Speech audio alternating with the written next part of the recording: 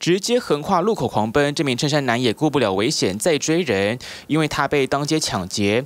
而抢匪是这名白衣男手上的背包里面就是刚抢来的现金，躲进公园内消失不见。被害人当时报警求助，说自己在台北市民权西路上被人持枪行抢，金额高达一百万元。只是这名被害人他一直没有办法交代清楚这一百万到底是从哪里来的。当下警方就看得出来，他其实是诈骗车手，而被抢的是赃款。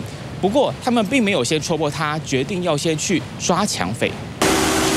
张姓抢匪没多久就落网，但只追回了十一万多元。警方也循线追踪到幕后主使是这名黄姓男子，而他竟是同集团车手干部，集团内鬼，设局黑吃黑。直接挖掉了。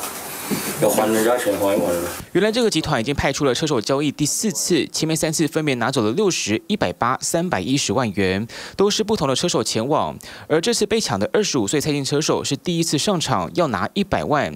当时在场负责监控的造水者黄姓干部，他就是策划抢案的内鬼，找来两名集团外人士联手设局黑吃黑，抢走车手身上一百万。我们坐着，坐着，坐在。由于这个诈骗集团，警方早就监控了一阵子，不止抢案，连其他诈团成员也接连被逮获，总共有八人落网。其实一开始黄姓干部也曾被集团怀疑是不是他做的，他没承认。如今确认就是他窝里反，策划抢案，还连累整个诈骗集团。TVB 新闻吴俊伟关系太不懂。想看最完整的新闻内容，记得下载 TVBS 新闻网 APP。